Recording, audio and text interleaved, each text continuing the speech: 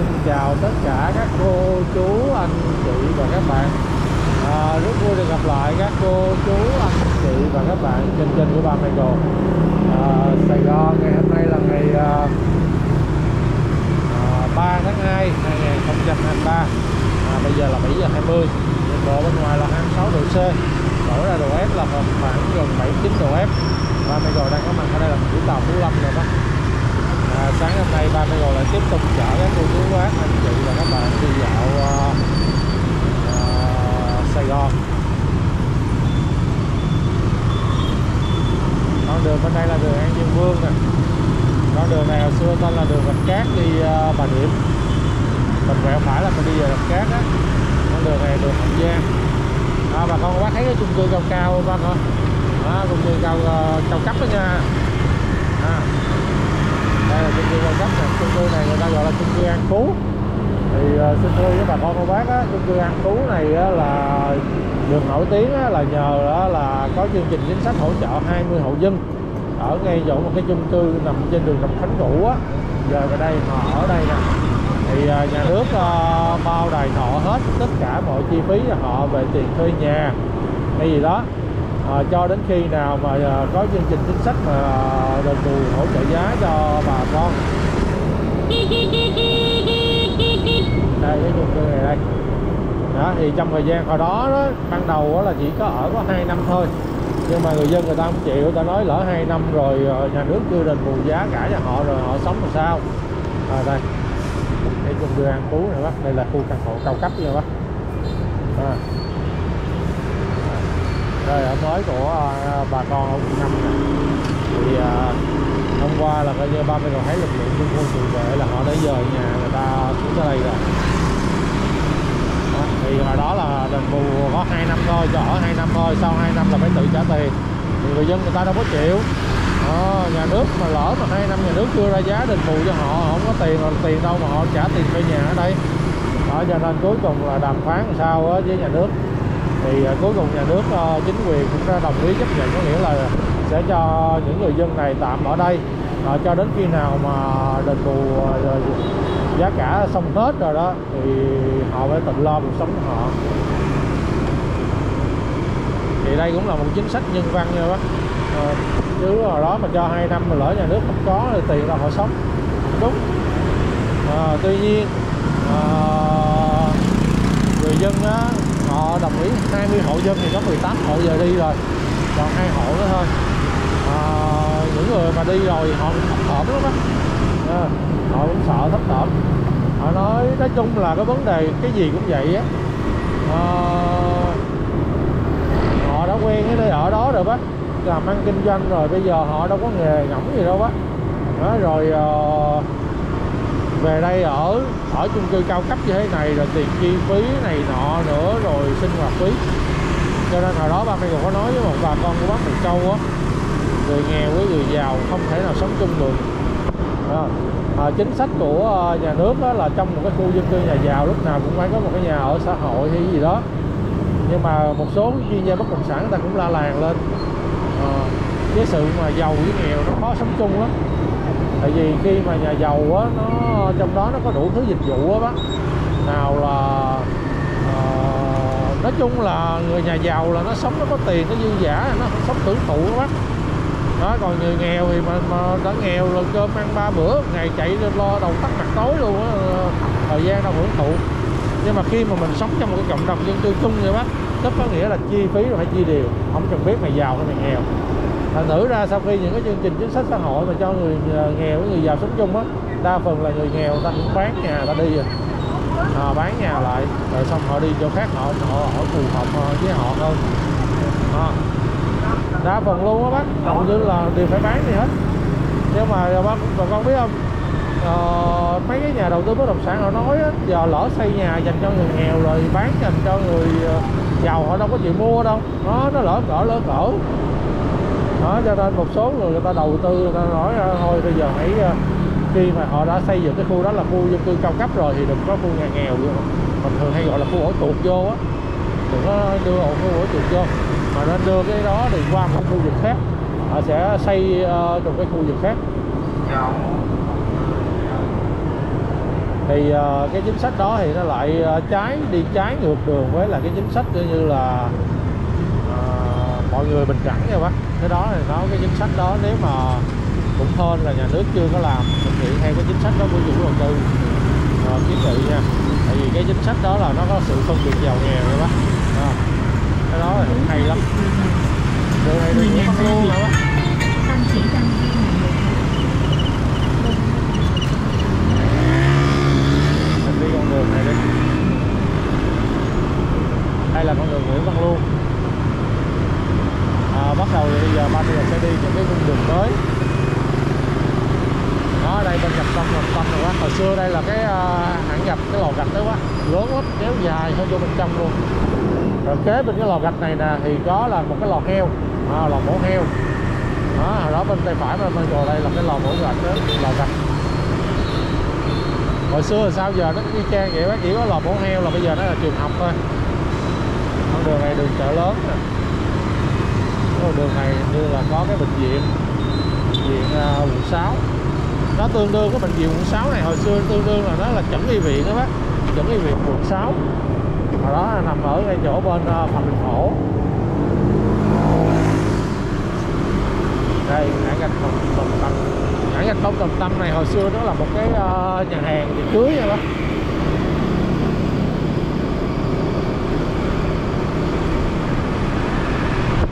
À, đây là trường cao đẳng kỹ thuật y tế kỹ thuật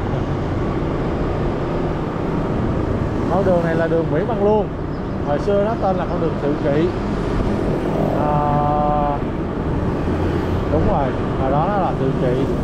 Rồi à, trước năm 72 con đường này mang tên là con đường à, Phú Định đi Phú Lâm.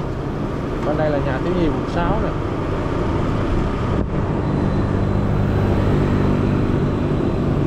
Học bơi á 500 ngàn một tháng.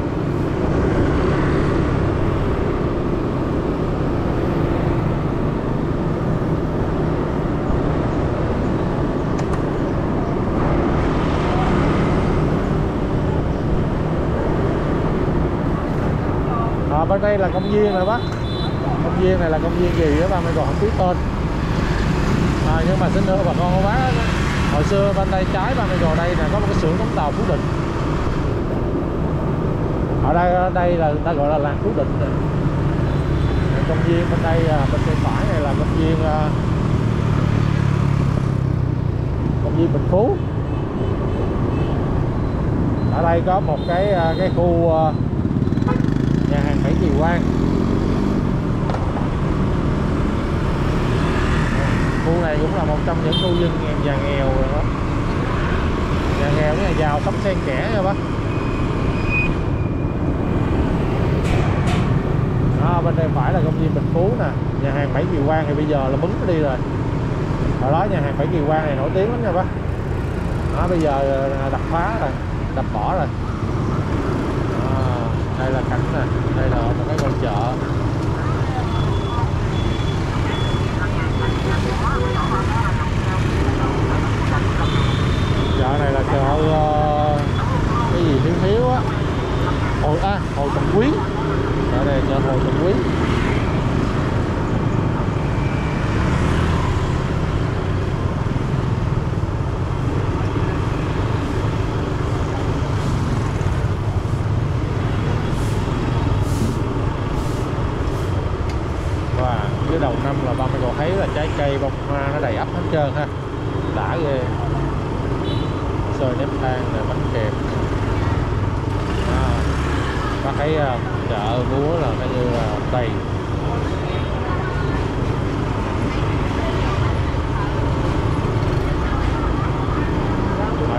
575 ở đây cũng là một cái ngôi chợ nhỏ nè.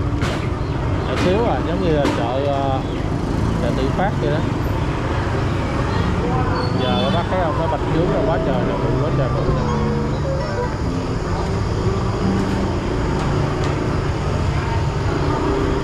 đây cây nè, chợ này là cũng là một trong những chợ lớn rồi bác. Ba mày còn thấy bán đủ đồ hết trơn luôn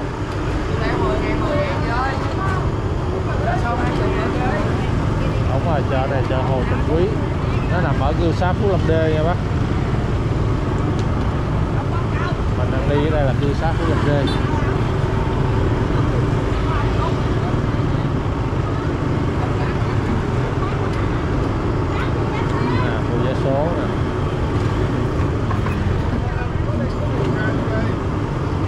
trên đường đi em có có va chạm rất mong năm nào có anh chị mượn tình thứ lỗi và chỉ đường rất dùm cho em cái em cái vô cùng chùa Cà Mau Bao An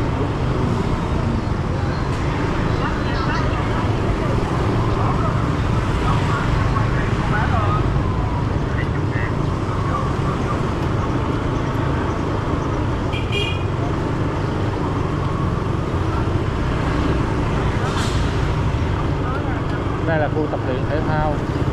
Qua bên Bình Phú này có nhiều khu công viên với tập luyện thể thao ghê ha. Quán cà phê ấy nè. Yota cà phê Gota 15 ngàn ly bữa giờ á, bà con cô bác thấy ba Michael làm video này bà con cô bác có thích không bà con? À, ba Michael không có bàn chuyện gì hết à, đặt tiêu đề cũng à, nói chung là nói những cái à, trong nội dung video là nói những cái câu chuyện vô thưởng vô phạt. À, chỉ nói về đường phố thôi. À, các cô chú anh chị và các bạn có thích cho ba Michael làm video theo kiểu này á hay là bà, bà con cô bác muốn ba Michael luận bàn về thời sự? Bên tay trái này có một cái hãng uh, hãng gì nè? Hãng giày Bitit à, hãng giày Bitit còn là tổ đình binh tương tự nè. Tịnh độ cư sĩ Phật hội Việt Nam. Chùa này là chùa Phước Nam nha bác. Chùa này là liên quan đến cái chùa à, cách đây năm ngoái là liên quan đến bà Nguyễn Phương Hằng nè. Còn bên đây là hãng về tiếp nè bên đây trong quẹo phải vô đây là có cái đình nè bác. À, con đường hẻm bên hông này là có cái đình đình này đình Phú Định đó, trung tâm của làng Phú Định năm xưa là ở đây nữa hồi đó cái vùng đất này người ta gọi là vùng chấu. Ở đây là bắc quan ông kênh lò gốm nè vùng chấu. Đâu rồi? Ở đây là vẫn là chùa nè, trời chùa lập thuốc nam nhiều lắm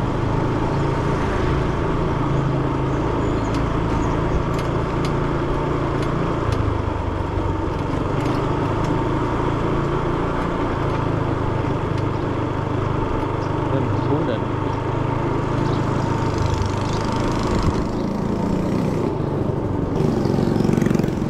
à, vô đây nhà này cũng là nhà này bác.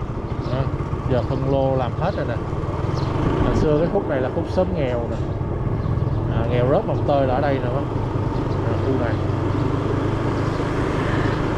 À, trung tâm của làng Phú Định ở đây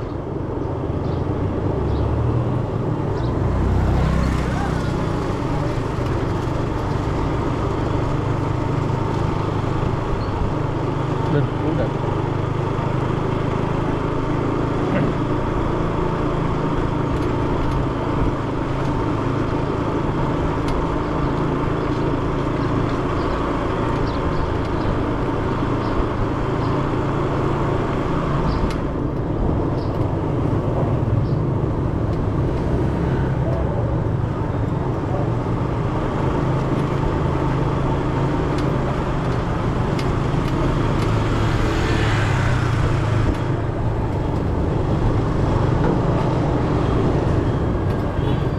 Wow, quẹo qua đây, hãng giày Bitit ha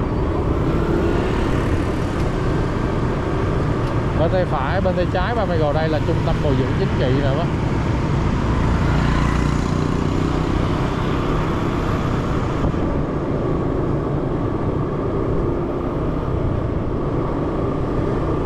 à, Trung tâm bồi dưỡng chính trị quận 6 mà, mà người dân ở đây người ta thường hay gọi là trường đảng á.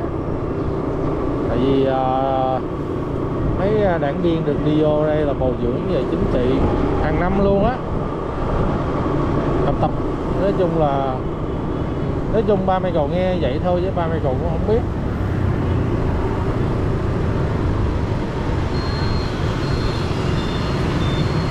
Học về như là trung cấp chính trị hay là sơ cấp hay là cao cấp. Không mấy ở quận này thì chắc là ba mẹ còn nghĩ cấp quận là chắc là khoảng sơ cấp hay là trung cấp gì đó. Còn cao cấp chính trị là nó còn cao hơn nữa.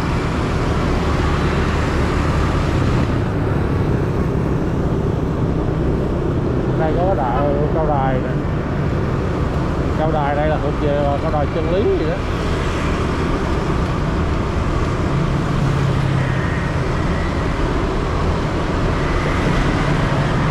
à, đây là hầm chui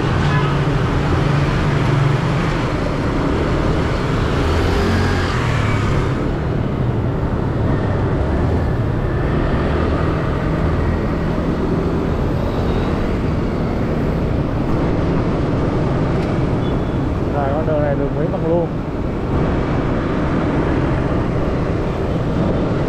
bên tay phải này là con kênh là gớm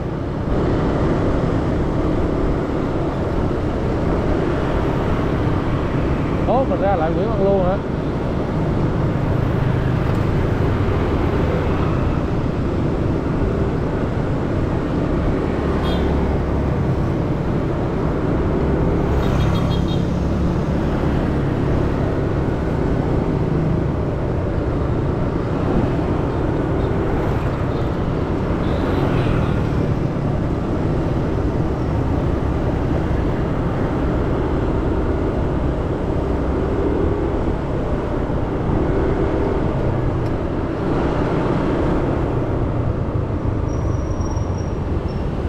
Rồi để bà Michael đi dọc cái con đường bậc trên nha cái con đường này mình đi rồi giờ bà Michael đi dọc bờ kênh này đây dọc bờ kênh là gớm rồi bác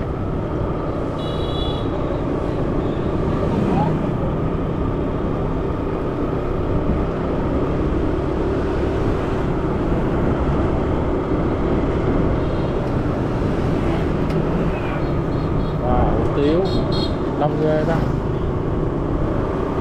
người ta đậu ngồi nắng mà ăn luôn đó thấy ghê rồi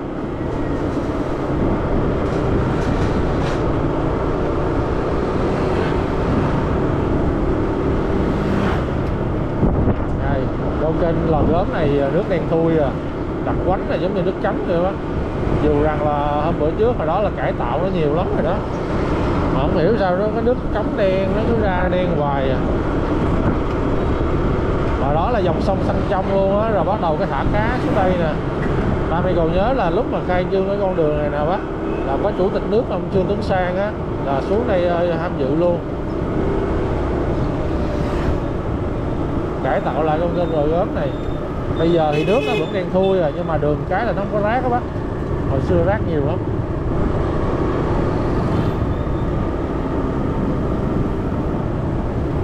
Là hôi lắm nha bây giờ nó nước nó trong lên mùi nó hôi lắm. Rồi bên tay trái nè có cái cầu đi bộ số 1 nè giờ mình đi lên nè. Cầu này là dành cho cầu đi bộ mà giờ ba mấy con thấy toàn xe chạy không rồi bác. À, đây là cầu đi bộ số 1 nè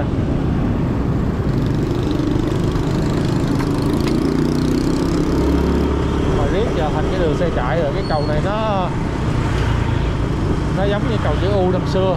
Nhưng mà giờ nó không phải là U mà nó qua bên đây cái nó bẻ qua thành ra cái cầu này cầu chữ Z. À chứ phải gì nó dọc xuống đây cái là thành thành cầu chữ U rồi. À, nhưng mà nó bẻ qua đây rồi bác thử ra cầu này cầu chữ Z.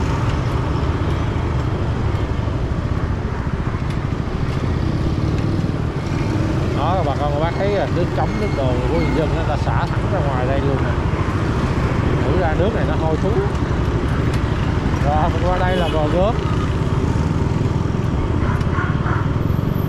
Mình mà quẹo tay phải đi ngược lại là mình đi ra tới à, hãng rượu Bình Tây đó cháo lòng ở đây ba mươi rồi thấy người ta bán cháo lòng nhiều quá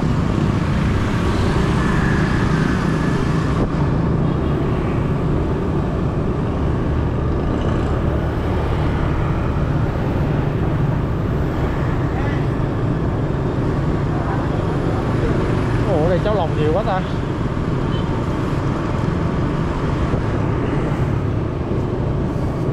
đây là con đường không biết đường gì đây quẹo đại ha đó, đường bãi sậy có đường là mình cứ đi thôi vậy là bên đây bãi sậy là bên kia là phan nhân khỏe à. vậy là con kênh này là con kênh hàng vàng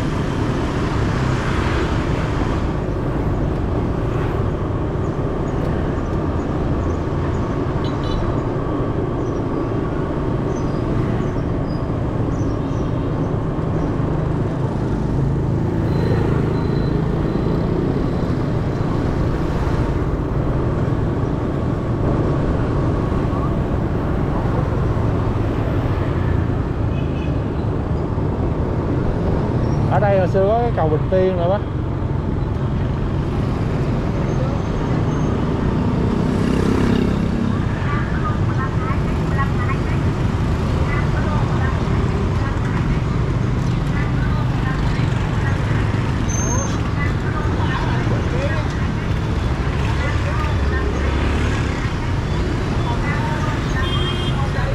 à, đây là dưới chân cầu Bình Tiên nè.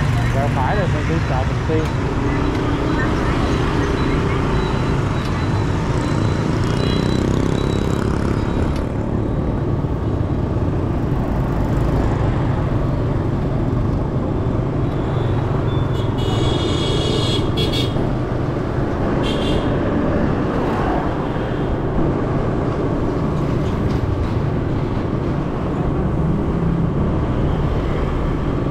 rồi đang đi tới số 243 đường Bãi Sậy.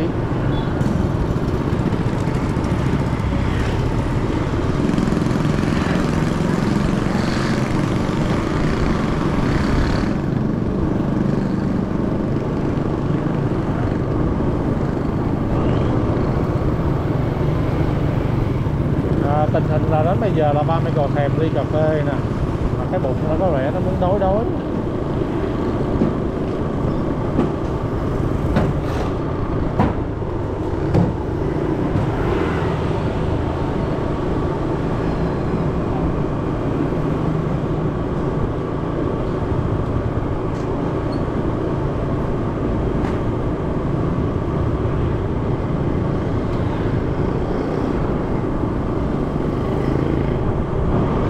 ở đây bánh trung thu đồng ký nè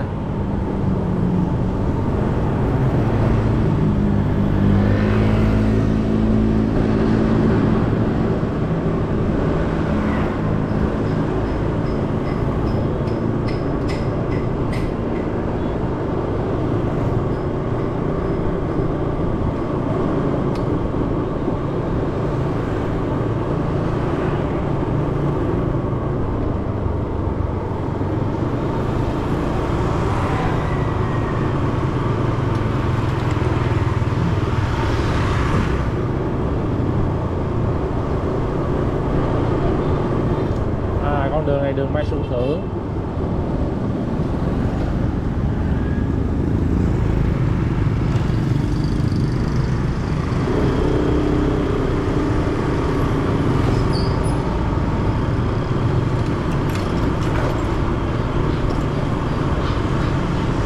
cho bự với cho nhỏ. Cái khúc này cũng ờ, sau này cũng dễ thả luôn nè bà con. Cái khu này là khu cũng là một cái khu ổ chuột của ờ, chợ lớn nè. Bên kia là giải tỏa xong rồi đó. Còn hút khúc bên đây không biết chừng nào. Bên tay phải này hồi xưa còn hành chánh ờ, quận 6 ở đây có cái cây cầu này cầu này gọi là cầu phạm đình thổ.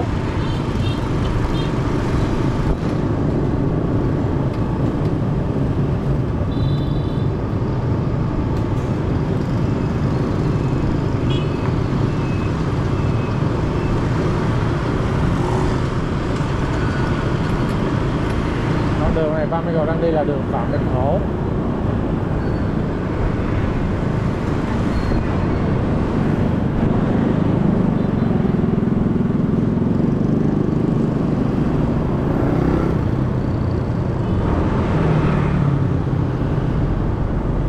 rồi qua kia thì An Nam Long.